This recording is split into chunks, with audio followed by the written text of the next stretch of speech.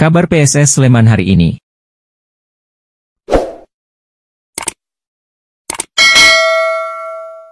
PSS Sleman akan berlaga di pekan ke-33 Liga 1 2023-2024 menghadapi Persik Kediri.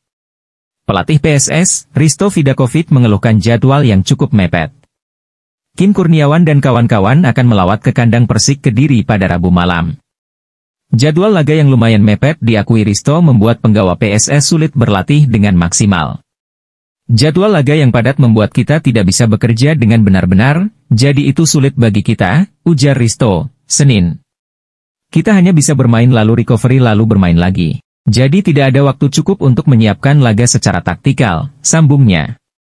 Pelatih berpaspor Spanyol itu turut menyinggung PT LIB dan PSSI yang sempat menunda Liga untuk Piala Asia U23. Hal ini cukup membuatnya kesal karena Liga jadi terlambat selesai dengan jadwal yang padat.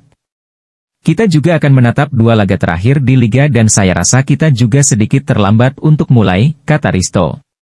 Pemain sudah berekspektasi Liga sudah selesai dan bisa istirahat lalu liburan, pungkas mantan pelatih Borneo FC itu.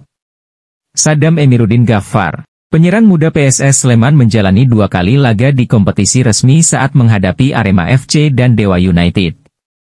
Meski masuk sebagai pemain pengganti, Saddam memberikan warna bahkan mencetak satu gol ke gawang Arema saat menang 4-1. Tak heran ketika Saddam kembali dan mencetak gol, hampir semua elemen tim PSS merasakan senang bukan main. Salah satunya fisioterapi PSS, Sigit Pramudia, yang lari kencang memeluk Saddam dari belakang setelah gol sundulan diciptakan ke gawang Julian Squarzer. Sigit menjadi sosok yang tahu betul proses penyembuhan Saddam menemani proses dan menyentil telinga ketika pemain asal Jepara itu hilang fokus.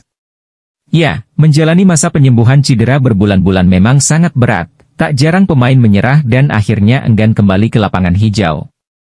Ketika mendampingi Saddam, Sigit mengamini bahwa ada kemauan kuat dari sang pemain untuk kembali ke lapangan hijau dan berprestasi. Namun, karena jiwa muda yang terkadang lepas kontrol, ada momen di mana Saddam tak fokus pada penyembuhan hingga harus naik ke meja operasi mengatasi masalah di lutut yang sama. Sigit tak menampik, ada situasi stres yang dialami setelah mengalami cedera. Namun ia mengingatkan kembali visi untuk kembali bisa bermain dan berprestasi lebih dari sebelumnya.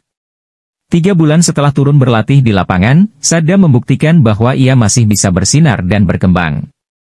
Proses latihan terpisah, lalu bisa bersama dan masuk skema permainan pelatih menjadi proses yang harus dilalui. Ketika kesempatan itu datang, ia bisa memanfaatkan dan mencetak gol, yang memang pekerjaan seorang striker.